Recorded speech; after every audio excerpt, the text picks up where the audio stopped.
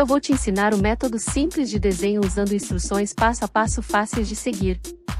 Se você precisa de ideias sobre o que desenhar, inscreva-se para mais tutoriais de desenho como este todos os dias. Deixe um pedido nos comentários abaixo para adicioná-lo à nossa lista. Deixe seu like se gostou desse vídeo. O cabelo do Goku é uma de suas características mais icônicas.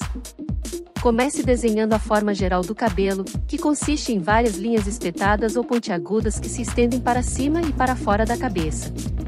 Use referências visuais para se guiar nessa parte, pois o estilo do cabelo pode variar dependendo da transformação do Goku. Goku é um personagem fictício do anime e mangá Dragon Ball, criado por Akira Toriyama. Ele é o protagonista da série e é conhecido por suas habilidades de luta e seu poderoso espírito de luta. Goku é um Saiyajin, uma raça alienígena guerreira, e ao longo da série ele passa por várias transformações e alcança níveis de poder incríveis. Goku tem uma aparência característica. Ele tem cabelos pretos espetados, olhos pretos e uma expressão geralmente amigável. Ele é musculoso e tem uma forma física atlética.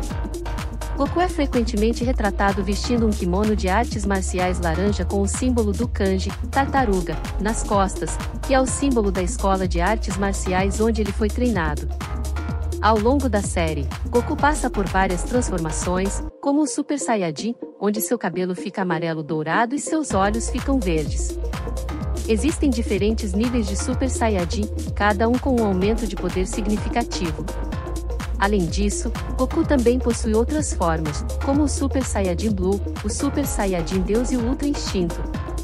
Goku é conhecido por sua personalidade alegre, ingênua e sempre disposto a lutar pelas pessoas que ama e pela justiça. Ele é um personagem muito popular e amado pelos fãs de Dragon Ball em todo o mundo,